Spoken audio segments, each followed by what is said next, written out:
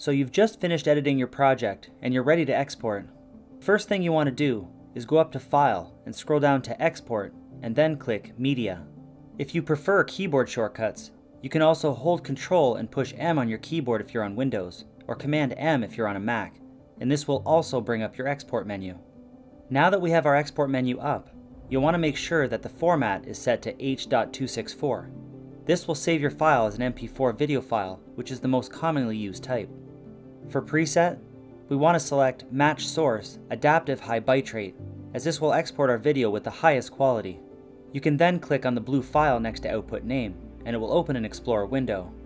Here you can change the file name, or even choose where you want to save it on your hard drive.